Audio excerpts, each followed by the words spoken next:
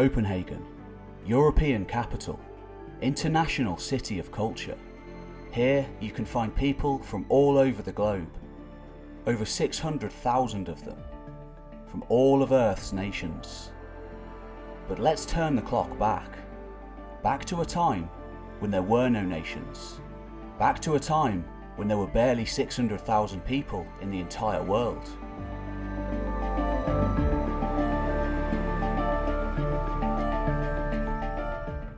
Time of immense cold, of trackless wilderness, and a constant, ever pervasive battle against the elements.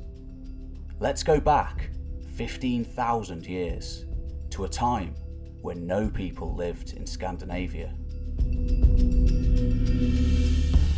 Humans had lived in Europe before this time.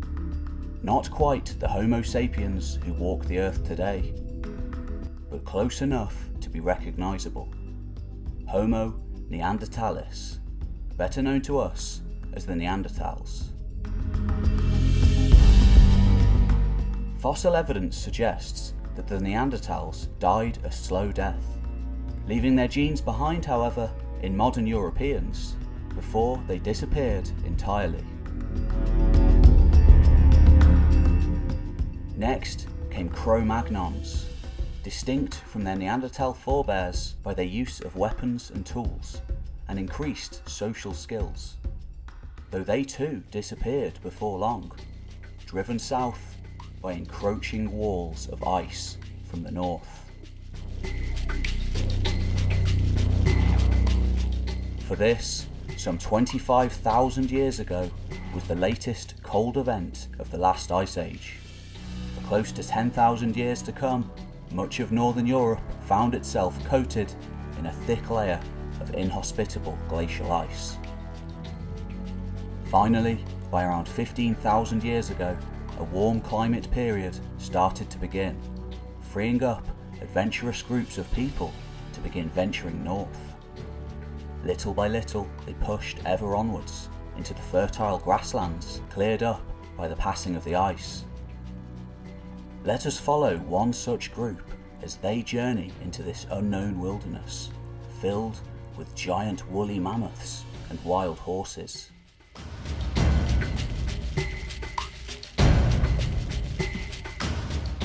Yet, it was not these great beasts who brought the earliest inhabitants of Denmark to the far north. The archaeological record suggests that it was probably reindeer. Little did these first people know it, but in crossing into the Jutland Peninsula, then a much larger landmass linking up to Britain and the rest of Scandinavia over long disappeared land bridges due to the much lower sea level. But they were travelling farther north than any humans had ever travelled before, for they were the first people in Scandinavia.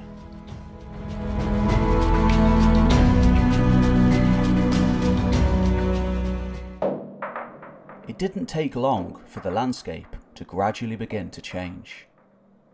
Human clans were very small at this time, and whilst they possessed the secret of making fire, one of the primary reasons for our great success as a species, they didn't yet have the means to grow their populations to a high enough level to alter the landscapes around them. For these people, hunters, foragers, and increasingly fishermen had no knowledge of agriculture.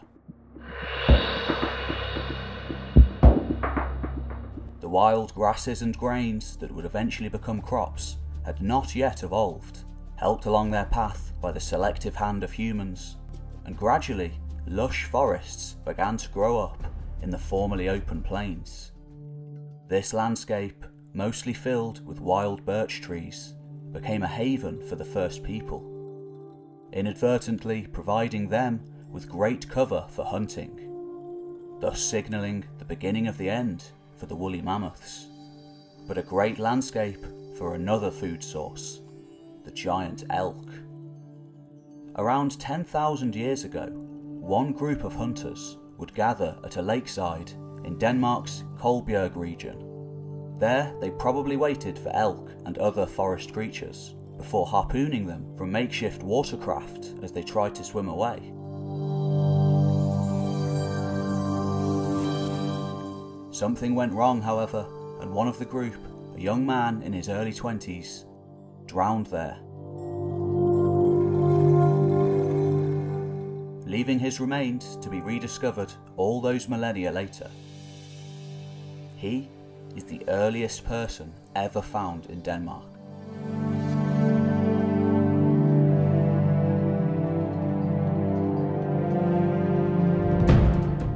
Yet these earliest Scandinavians were not alone. They travelled with a trusted companion, the only domesticated animal these people knew, first brought into the fold some 15,000 years ago. Dogs, in this case probably resembling the Siberian Spitz, were indispensable partners for tracking game in the thick forest. By threatening the wild animals, the dogs would slow their advance, confuse the animals, and thus give the hunters time to shoot their prey. But why did dogs do this? Bone analysis suggests that these early hunting partners were rewarded well for their help, eating the same food as their masters. Some were even given distinguished burials, like dear family members. Large areas of Denmark were covered in marshy wetlands during this time. It was this landscape which first led to the widespread usage of boats. Little more than simple hollowed out canoes fit for one person, though the very earliest ancestor of the Viking longboat. It was from these mobile platforms that the first people hunted their prey with primitive harpoons and spears. Thousands of these early bone and flint spearheads, as well as other more mysterious ornaments, have been found throughout Denmark. More often than not, dredged up by fishermen in their nets, the last relics of this long gone by age.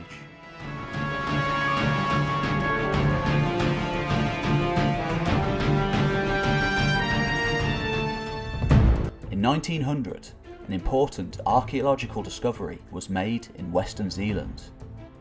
The site, called Maglemose, would eventually lend its name to an entire archaeological culture of hunter-gatherers.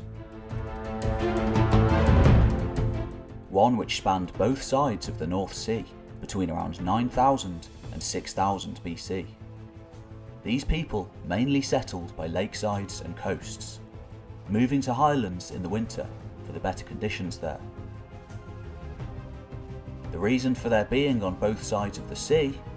Well, for the most part, the sea didn't exist. The entire southern portion of the North Sea being a vast open plain known to us today as Doggerland. It wasn't until around 6000 BC that this genuine Atlantis finally sunk completely beneath the waves. Going along with it, anyone unfortunate enough to still be living there, and of course, all of their archaeological remains.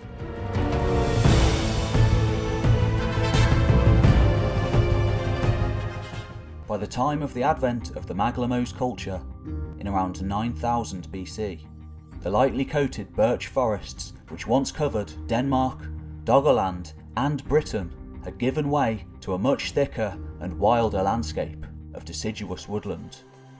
Hazel trees, lime, elm and oak became common, and groups of humans had to adapt their ways in order to survive. Life in the woodland wasn't easy, but, of course, we are an adaptable species. Into these woodlands came a variety of wild beasts and animals from the south, many of whom do not exist anymore, likely being driven to extinction by humans. In their prime, they would have been a fearsome sight. Wild aurochs, the ancestors of today's domestic cow, first arrived in the region by around 9000 BC. Male bulls were the largest and most dangerous animals in the forest. It would be millennia yet until a few particularly daring humans would first attempt to domesticate this noble and fierce animal. And that probably took place far away to the south.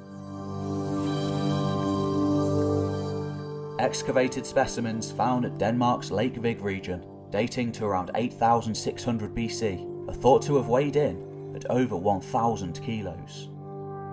Old scars on the ribs suggest that at least one of these giants had survived a number of earlier encounters with humans in his lifetime, until finally he was fatally wounded and brought down. By the time Doggerland finally sank under the waves in around 6000 BC, the aurochs of the north were mostly gone, hunted to extinction. Other beasts stalked the woodland too. Bears, wildcats, lynx, all provided much needed furs to protect people against the elements, as well as skins from deer and fearsome boar, whose tusks, perhaps a symbol of prowess, were used as amulets. The bones of great elk and aurochs made fine material for axes, chisels, and knives. Deer antlers were perhaps seen as a symbol of vitality and rebirth, due to the young stags shedding these impressive apertures and regrowing new ones every spring. The great forests that grew up in northern Europe eventually provided vast amounts of food, material goods, and symbolism for the first Scandinavians.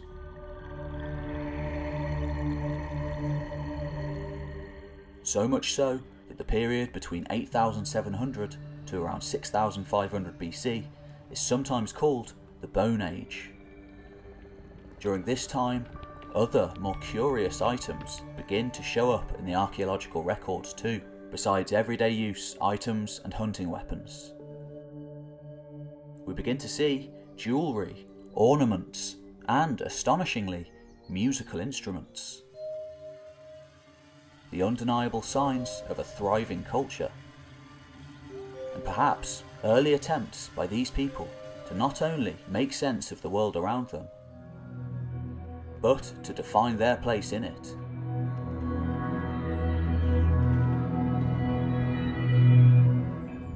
In ancient days, music was closely linked with magic and spiritualism. The earliest depictions of a shamanistic figure playing a musical instrument come from the Les Trois Frères cave paintings in southern France, a relatively lush region dating to thousands of years before this time. In the north, however, where no tradition of cave paintings from this time has been found. We instead get the real deal.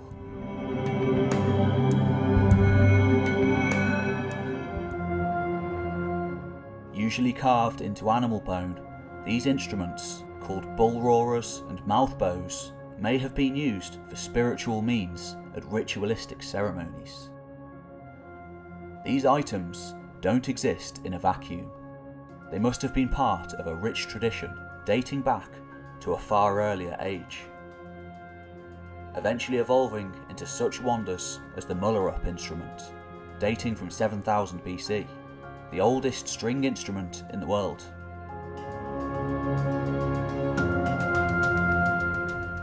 Tiny keepsakes begin to be carved during this time too, from the relatively abundant Scandinavian resource that would later be known as the Gold of the North. Fossilised tree resin, amber, mysterious drawings of animals and shamans in trance are often seen on excavated beads, sometimes with early examples of the evil eye, a symbol thought to be a protection against evil spirits. These items may represent the beginnings of a religion and the idea of the other world, populated by beings outside of our mortal plane, an idea prevalent in all shamanistic religions. Yet, the days of these people were numbered, for a cataclysm of epic proportions was headed their way, one that would undoubtedly change them forever.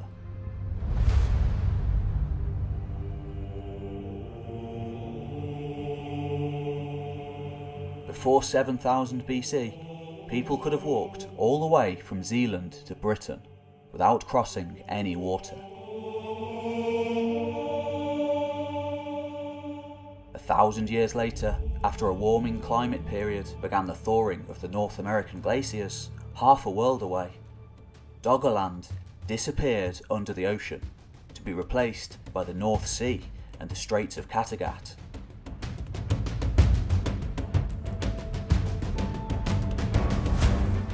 Perhaps this rising sea event was remembered in later millennia as the biblical flood.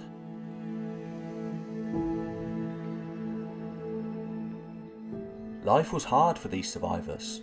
More people lived in a smaller landmass with uncertain climate and weather. This new archaeological culture, sometimes called the Kongemose, from around 6000 to 5000 BC, clung to coastlines in order to make sure they had food, often in the form of shellfish, seals, and whales, though also deer and boar, the survivors of the great beasts of the woodland. Though these people had to constantly move because of changing sea levels. Today, most of their settlements lie under the sea.